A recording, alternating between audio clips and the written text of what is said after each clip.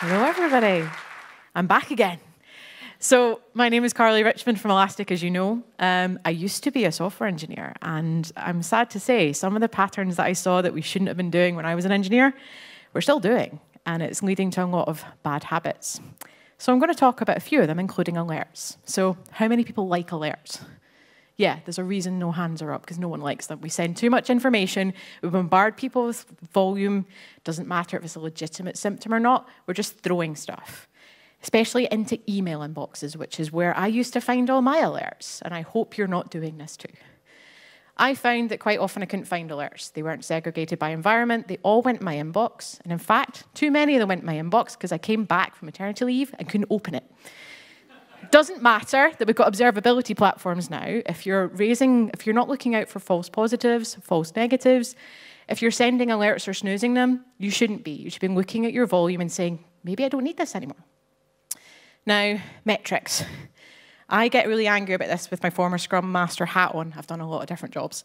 Because we seem to think that it's okay to use metrics to compare teams, and we actually end up in a situation where we're comparing apples and pears. McKinsey, I don't know, did anyone see this piece come out last year and get as angry as I did? I'm sorry, you can't use Space and Dora to compare teams. Please stop doing this.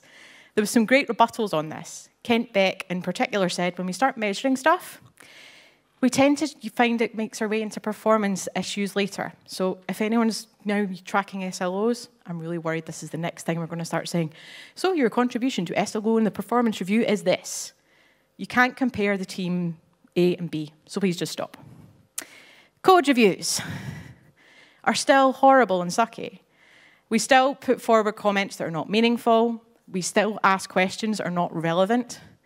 And I just find that even though we've got radical candor, we haven't realized that doesn't mean be a jerk. Now, I'm not the only person who's made this viewpoint.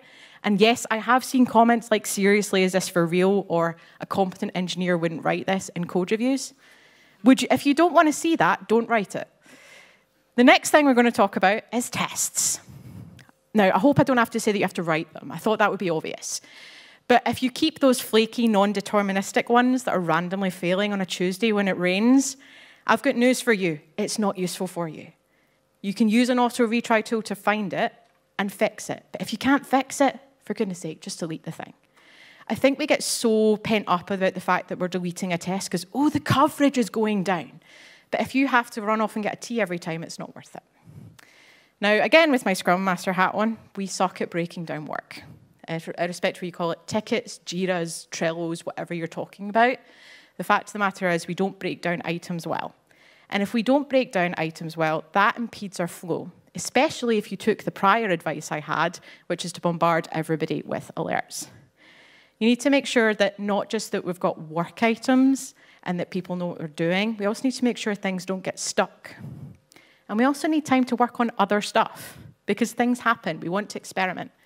And one thing they do in the Elastic Engineering Times that I quite like is something called space time. We have a week every so often where we get to try new things and experiment as long as it aligns with the team. Now, the last point is very meta because I'm, I'm talking about conferences while standing on a conference stage, and I'm fully aware of this fact. Sometimes we make it difficult, either from struggling to get sign off for conference ticket costs or we're bombarding people with all that work. But it's not just about hearing about the fab speakers all around here today that have been contributing. It's also about connecting with all you lovely people in the audience and finding out new techniques and skills that you can take back to your own teams.